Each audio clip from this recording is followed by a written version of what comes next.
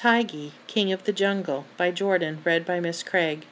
TJ the lion, Tigey the tiger, and CJ the snake all live in the jungle. They do not like each other. Tigey is the king of the jungle. TJ does not like that Tigey is the king because lions are supposed to be the king of the jungle. CJ is too small to be the king of the jungle because people think that he has no strength. One day, TJ and Tigey walked past each other in the jungle. With his ears raised, Tigey growled as he walked by TJ slowly and stared him down. CJ slithered quickly to Tigey and hissed. CJ quickly wrapped himself around Tigey. Tigey used his claws to pull CJ off of him and tossed him on the ground.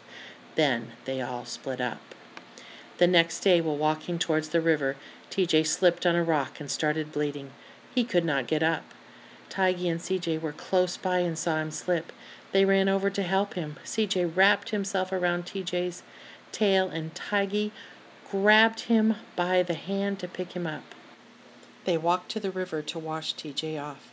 TJ was happy and thankful, and now they are friends. It is important to help people when they need help.